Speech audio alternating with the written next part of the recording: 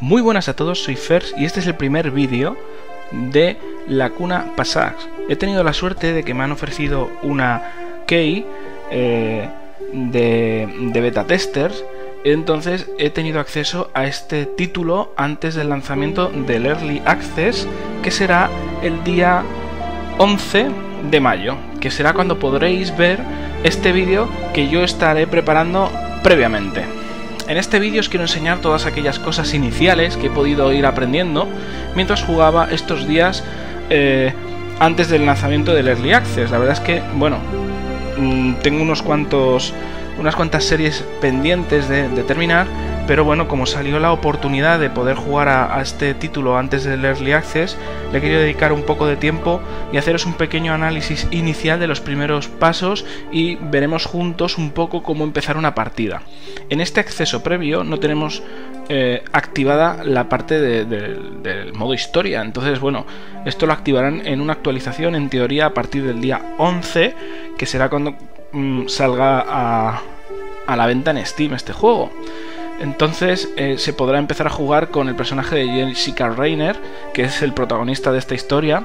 Y bueno, aquí podéis ver un poco la historia, que será la única superviviente de, la misión Heracles, que se estrelló, y que investigan la desaparición de primera misión a Marte. Y bueno, y todo lo que, lo que eso conlleva...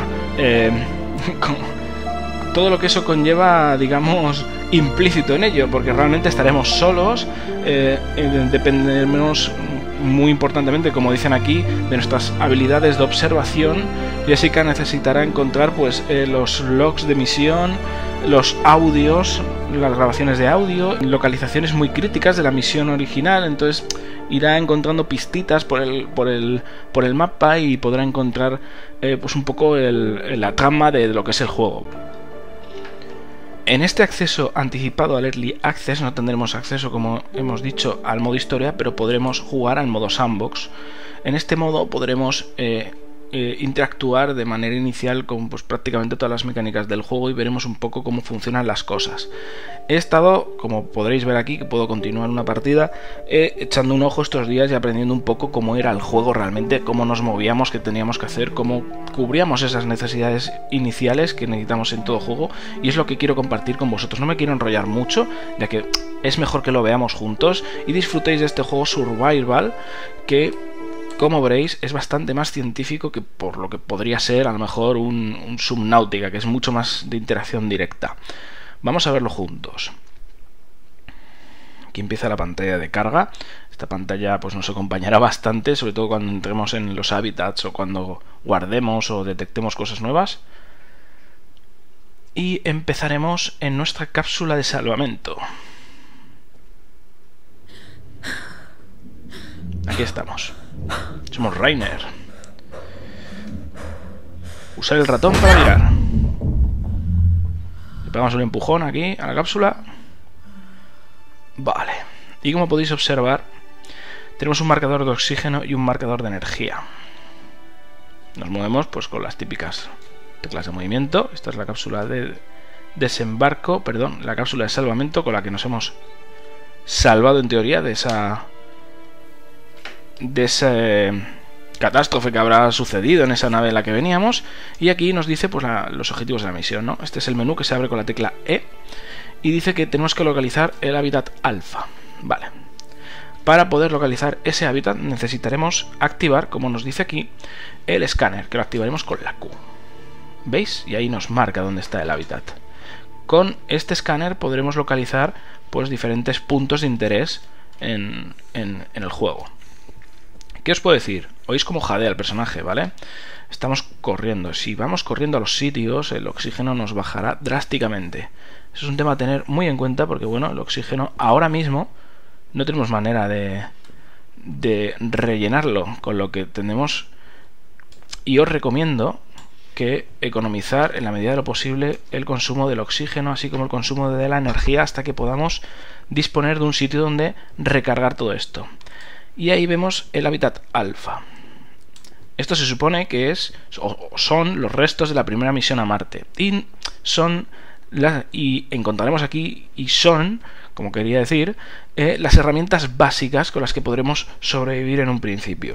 Es, como así decirlo, prácticamente el equivalente a la cápsula de salvamento que tenía Subnautica. Entonces, bueno, pues aquí tendremos que hacer unas cuantas tareas que las veréis ahora, no os quiero spoilear, y pues recibiremos eh, ciertos suministros de ciertas cosas y tendremos un punto donde dormir, por ejemplo, y el resto de cosas que no os quiero contar. Para poder salvar la partida actualmente lo que hay que hacer es dormir en el catre, ¿vale? Pero solo podremos dormir en el catre si nos quitamos el traje y para quitarnos el traje el hábitat debe de cumplir ciertos requisitos como son electricidad, como son oxígeno, como son temperatura o como son, por ejemplo, eh, la generación de agua, ¿vale? Hemos descubierto el hábitat y se nos añade a navegación. La navegación que también es el mapa con la M que lo podremos abrir esa marquita círculo morado es el hábitat y ese rombito es la cápsula en la que hemos caído. Bueno, nos dice que chequeemos el estatus del hábitat.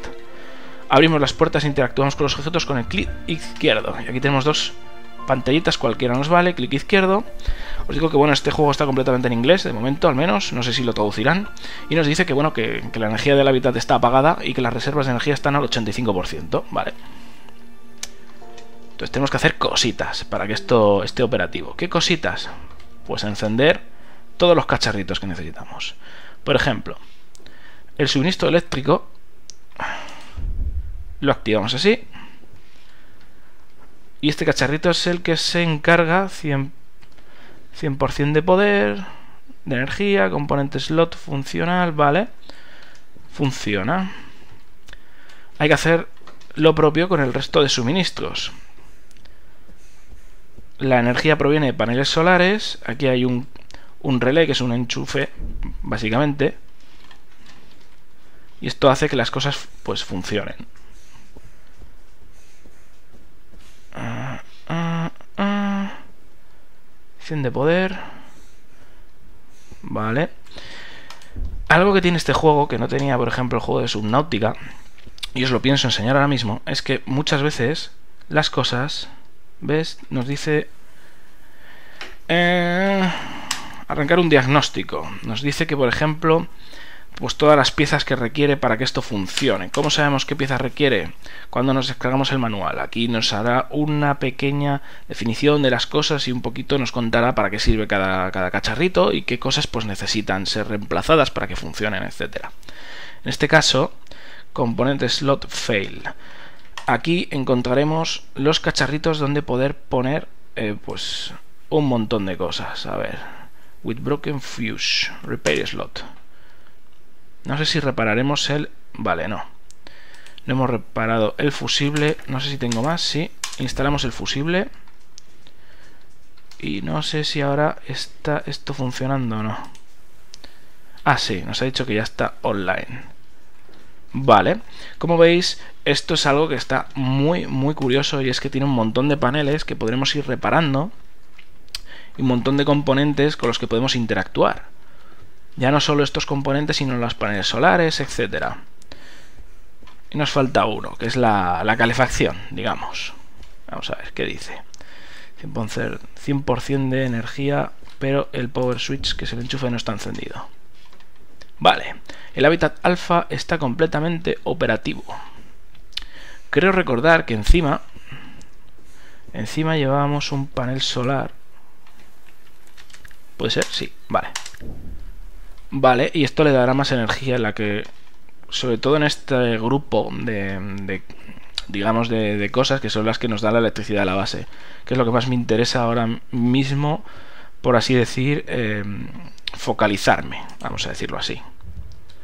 Como veis, ahora hay, hay unas luces encendidas y cuando entramos aquí, teniendo esas luces encendidas, nos hace una pantalla de carga y el personaje se quita el traje, ¿vale? Con el traje quitado, pues podremos comer, podremos beber, podremos hacer e interactuar con bastantes cosas. Y este es el hábitat. Aquí podremos dormir, que estos son los catres, le podremos decir eh, desde qué hora hasta qué hora queremos dormir, pero a diferencia de otros juegos, como por ejemplo podría ser Subnautica, ¿no? que nuestras necesidades básicas eran bastante simples, como comer, beber, eh, y el oxígeno y cosas así, tú realmente en Subnautica cogías cualquier pez, lo cocinabas del tirón y te lo comías. Y como mucho te podía bajar un poco la comida si estaba un poco así medio pachucho. Pero aquí, como podréis ver, en los signos vitales tendremos valores bastante más complejos. Tendremos un valor de nutrición con las calorías que tenemos en el cuerpo actualmente, las vitaminas, los lípidos. Tendremos un panel de hidratación, hasta aquí más o menos es lo mismo, ¿no? Comida, bebida. Lo que pasa es que aquí tenemos como tres, tres eh, puntos que tenemos que vigilar de cada cosa. Porque una cosa es que, por ejemplo, eh, vayamos mal de vitaminas y la nutrición no, y tengamos calorías, pero eso hace que estemos mal. Por ejemplo, también eh, estar expuesto al entorno o, por ejemplo, estar cansado, ¿vale? Ahora mismo está todo en verde, como podemos ver, la integridad de los órganos es normal, el oxígeno en sangre es normal, la presión es normal, todo es normal, pero en cuanto empecemos a movernos por ahí, pues lógicamente el personaje se nos va a ir cansando. Ahora que le hemos encendido todo, ¿vale? Os voy a enseñar que, por ejemplo, aquí tenemos tres compartimentos, un compartimento de materiales, ¿vale?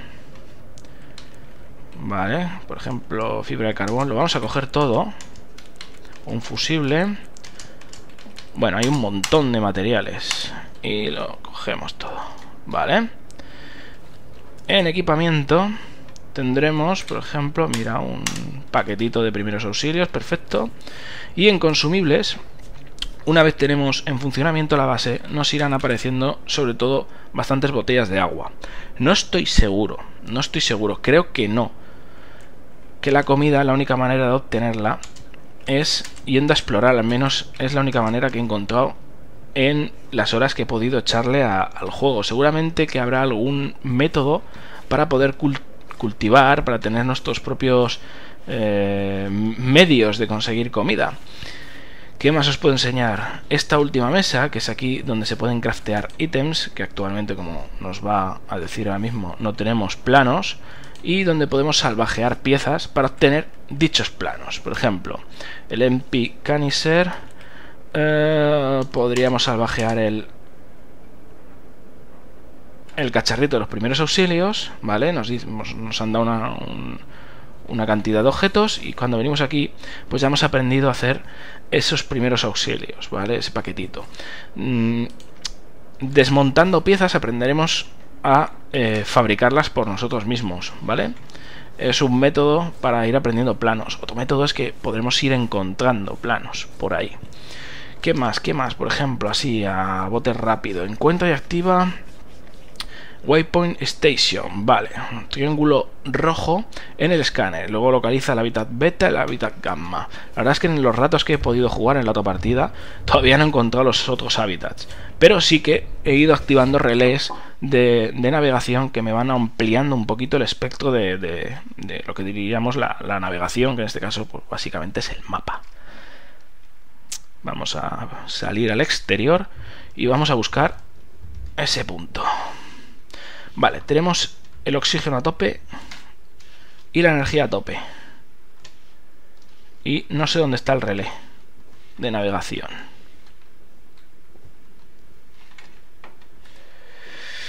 Vale. En la otra partida en la que estuve, la verdad es que sí que veía. Sí que veía dónde estaba. Bueno, recuerdo que correr nos hace descender el oxígeno de manera muy drástica. Y luego, por ejemplo, tenemos la F cuando se hace de noche para encender unas luces, para ver en la oscuridad. Eh, ir con el escáner y con las luces, pues lógicamente hace que la energía descienda más rápidamente. Pero digo yo que estará ahí arriba, ¿no? El relé de comunicaciones. Digo yo. Digo yo que tú, que tú, que tú, que tú. Porque... Porque no tengo ni idea de dónde está ahora mismo, la verdad. Como cada partida de sandbox es completamente distinta, pues es un poco así a lo loco.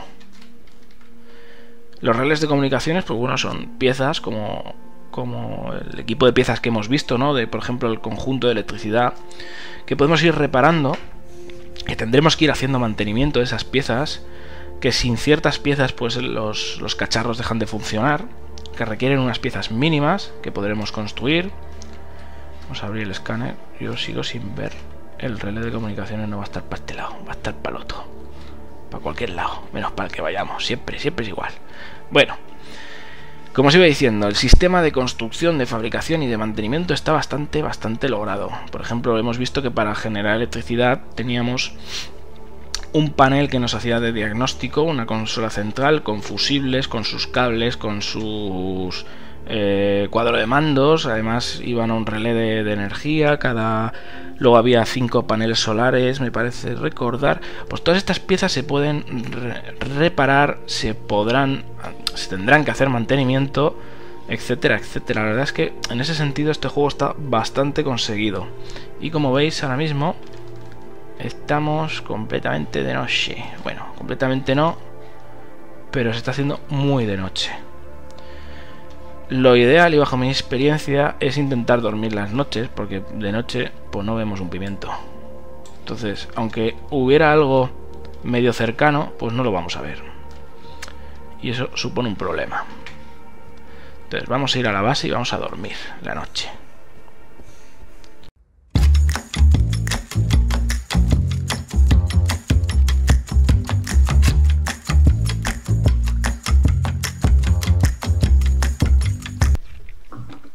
Muy bien, pues ya estamos de vuelta. Lo que vamos a hacer es dormir. Dormir el tiempo que, dura la noche.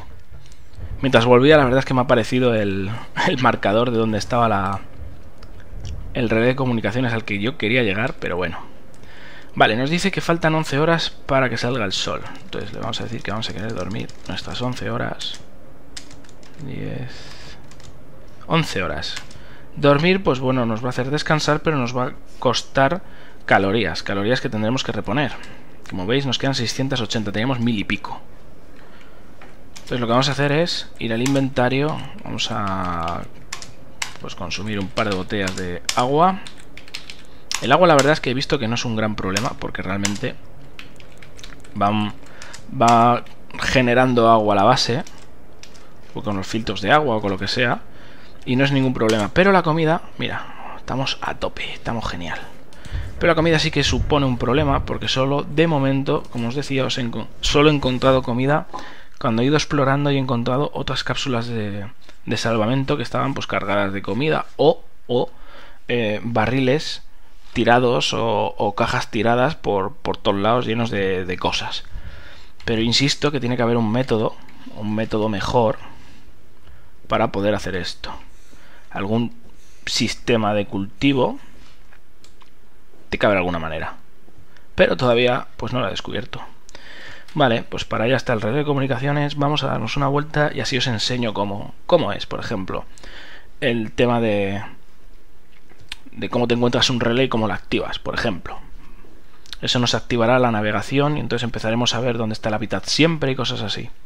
Arriba, que veis que tenemos como una brujulilla Ahí nos saldrá un círculo verde que será nuestro hábitat, nuestra base principal.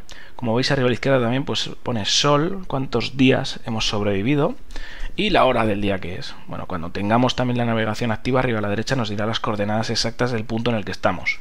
Que eso pues está muy bien también. Vale, a ver.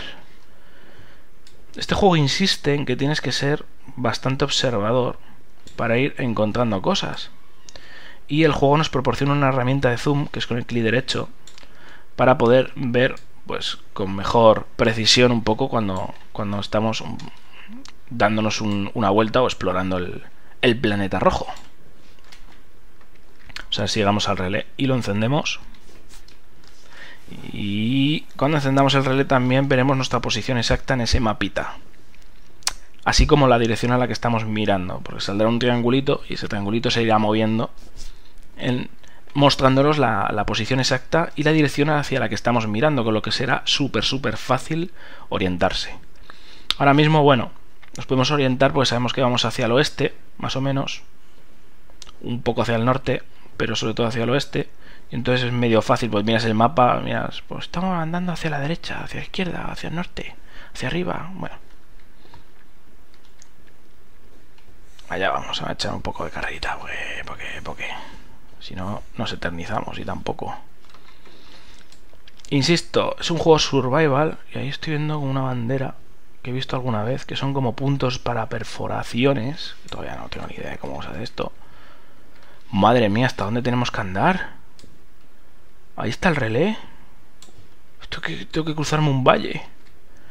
Bueno, dejaremos de correr porque igual no llegamos. Con nuestro flamante. Con nuestra flamante capacidad de oxígeno actual. Que es nula. Muy, muy, muy pequeña. Como os digo, es un survival bastante más científico, diría, mucho más técnico que, por ejemplo, el Subnautica, ¿no? O otro tipo de survivals. Y es, un, y es un survival para tomárselo con calma, es decir, es mejor que vayáis despacito, con la calma, dándose el paseo para no consumir demasiado oxígeno, no suficiente, demasiado oxígeno, y que no os muráis intentando sobrevivir aquí en Marte porque realmente estáis solos. Estáis solos y dependéis de vuestra habilidad para encontrar recursos, para fabricar cosas, para, bueno, para, para sobrevivir. Supongo que en el modo historia llegará un momento en el que, bueno, pues vas pasando por puntos, te vas enterando de qué pasó en, en la misión original. A lo mejor hasta nos podríamos enterar de qué nos ha pasado a nosotros. Y espero que realmente pues exista una manera de salir del planeta rojo o de pedir ayuda o no sé, no sé cómo lo harán el modo historia, no tengo ni idea. Aquí estamos viendo puramente la mecánica de juego. También he de deciros, por ejemplo, que si nos ponemos a reparar cualquier elemento, pues eso nos cuesta energía y nos cuesta oxígeno y pasa el tiempo. Se supone que, bueno, que ha pasado un ratito en lo que hemos tardado en reparar el elemento que toque o el elemento que queramos o estemos intentando reparar y hay que tener en cuenta ese coste porque lógicamente al lado de la base pues no hay problema pero cuando estamos por ejemplo tan lejos de la base como estamos ahora que vamos hacia el relé de comunicaciones pues puede suponer un problema muy grave ponernos a reparar cosas y que nos baje demasiado el oxígeno o demasiado la energía y no tengamos para volver a casa y claro, Survival se convierte en muerte, muerte, muerte. Os voy a enseñar a ver si ponemos el relé operativo y más o menos pues habremos podido ver las cosas más básicas, lo que os decía, ¿no? La energía y el oxígeno lo podremos recargar en la base.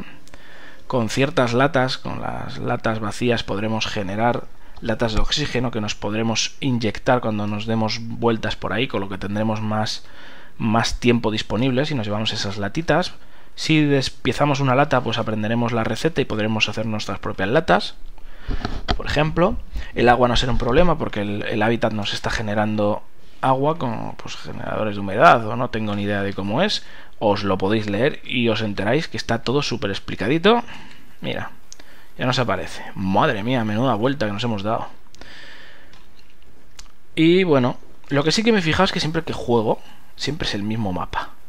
Entonces a lo mejor, a lo mejor sé dónde están el resto de los hábitats, porque de jugar alguna que otra vez, sí que he salido en diferentes posiciones y a lo mejor así he podido ver dónde están los diferentes hábitats. Pero bueno, vamos a venir aquí a ver cómo está el relé este. A ver, le hacemos un diagnóstico. Esto está power off. Ni diagnóstico ni leche. ¿Lo puedo encender? Board y los fusiles. Pues está bastante bien. Toma ya. Ya tenemos latitud, longitud.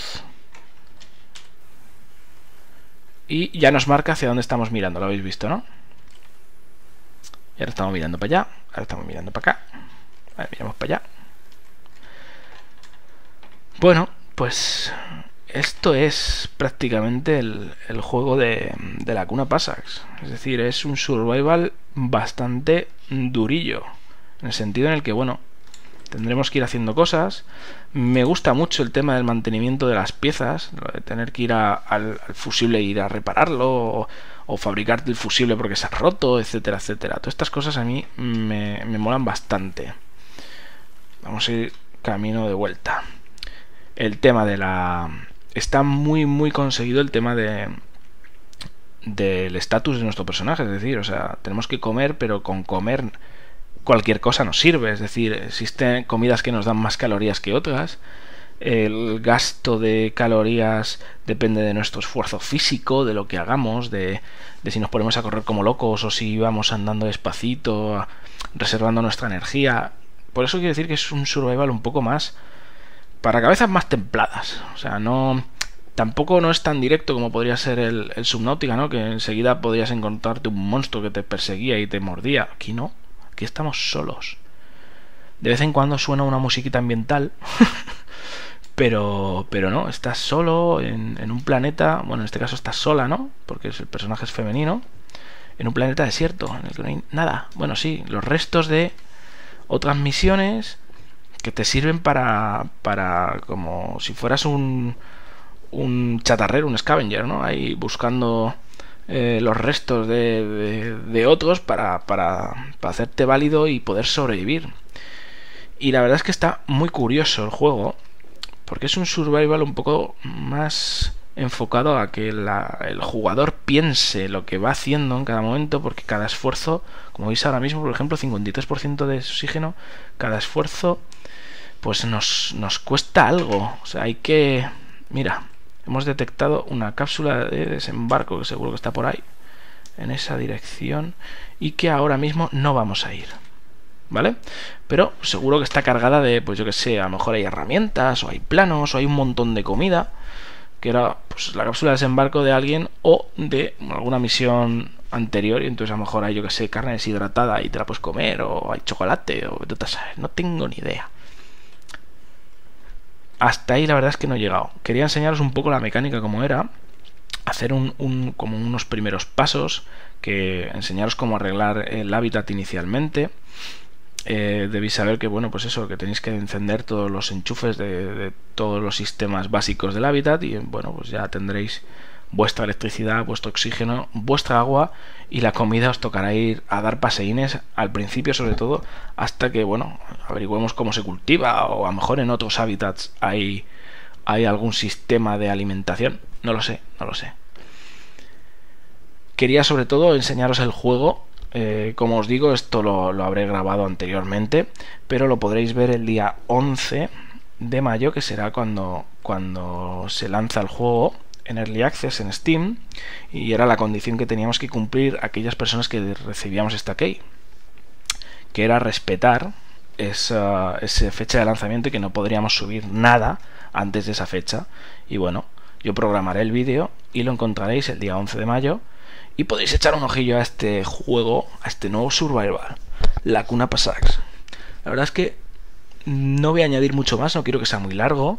Quiero saber vuestra opinión, si a lo mejor os gustaría que, que si... A lo mejor ahora mismo no, porque estoy, bueno, que hay días que puedo subir vídeos porque estoy con, con, el nano y hay días que no puedo subir y pasan dos días y no puedo subir y pasan tres días y no puedo subir y ya me estoy mordiendo los dedos. porque digo, joder, no estoy subiendo vídeos. Pero bueno, a lo mejor en un futuro, a lo mejor os gustaría ver una serie de este juego, no sé lo que van a, a, a desarrollarlo, si se lo van a currar muchísimo. Por ejemplo, Subnautica al final es un pedazo de juego. A lo mejor este también le echan ganas y hacen un pedazo de juego. No tengo ni idea. No sé, darme vuestra opinión. También me gustaría ver en comentarios qué os parece, ¿no? Es que es como un, estilo distinto, mucho más más de supervivencia extrema en el sentido de que no hay un monstruo que me persigue, pero mmm, estoy jorobado de verdad porque no tengo oxígeno, me estoy ahogando y no tengo comida y estoy sufriendo. En ese sentido es mucho más extremo que otros juegos porque de aquí la comida realmente no, no, no, no flota alrededor, ni hay que ir a buscarla puñetas y a lo mejor eso nos cuesta la vida porque no, no tenemos oxígeno ni energía suficiente. Me gustaría ver vuestras opiniones en comentarios, vuestra opinión si a lo mejor os gustaría que se hiciera una serie de este juego. Y bueno, vuestras primeras impresiones de este juego, a ver qué os parece y que, que, cómo lo veis, etcétera, etcétera. Ya me está diciendo que no tengo. que ahorre energía apagando el escáner y apagando las luces. Pero bueno, ya estamos aquí a la base, así que no hay problema. Así que espero que os haya gustado el vídeo, lo voy a dejar aquí para que no sea excesivamente largo, sobre todo el primero. Y si en un futuro pues os gusta, pues a lo mejor hacer una serie, ¿por qué no? ¿Quién sabe? Pero espero que os haya gustado y si queréis comentar como siempre lo que queráis y si os gusta el canal, suscribiros chicos. Y, por supuesto, bienvenidos a la cuna pasar.